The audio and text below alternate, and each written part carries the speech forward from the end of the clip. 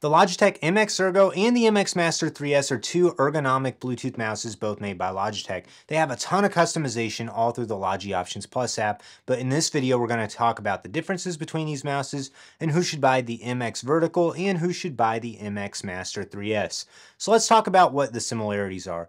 First, both of these have the Logitech Easy Switch technology built into them, which means that you can pair them with up to three devices at once, flip the mouse over, and then you can cycle between the saved settings on them, which is really nice if you have multiple computers or you want to pair them to an iPad and a computer. It's just going to be really fast to change between devices. They both also use USB-C to recharge them, and you can customize the different buttons on the side and the top and what the clicking on the scroll wheel does, all by using the Logi Options Plus app.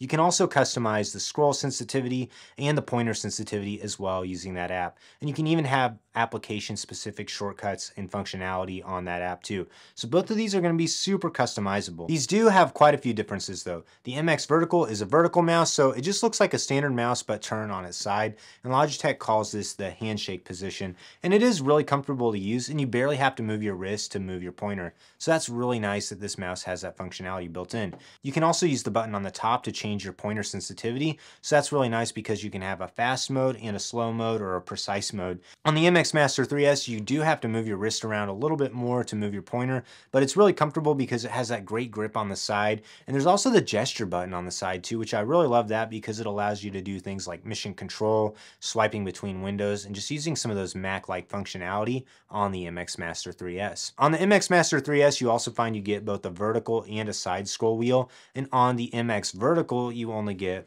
a vertical scroll wheel. So there's no side scrolling on the MX Vertical, unfortunately. Also on the MX Master 3S, you can use both a ratcheting scroll wheel or you can use the free spinning scroll wheel as well just by clicking that button below it. On the MX Vertical, there's only one scrolling sensitivity, but I do find this scroll wheel is a little bit more comfortable to use than the silver one on the MX Master 3S. Both the MX Master 3S and the MX Vertical have a really great Bluetooth connection. I don't have any issues with using them on Bluetooth as well. And I love that I can pair these to multiple computers or iPads at the same time.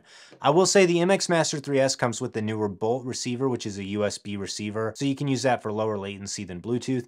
And the MX Vertical does include a receiver, but it's the older unifying receiver, and not all the newer keyboards are compatible with that as well, so you might have to use two receivers if you want to use USB. Both of these retail for about $100, and I think they're both a great buy because they have Logitech's great Bluetooth connectivity, and they also have all the customization that you could possibly want using the Logi Options Plus app. So if you're trying to decide which of these you should buy, it can be a little tricky. Getting used to the vertical mouse does take you a little bit, but it's really comfortable to use and you barely have to move your wrists at all. So if you're having a lot of issues with hand fatigue, you might look into buying the MX Vertical just because it's going to give you a completely different wrist position than you've experienced with any other mouse. But if you prefer that standard flat feel of a normal mouse with a little bit better ergonomic feel to it and that elevation on the back, then I would really recommend checking out the MX Master 3S because it really didn't take me long at all to get used to the MX Master 3S coming from the Apple Magic Mouse.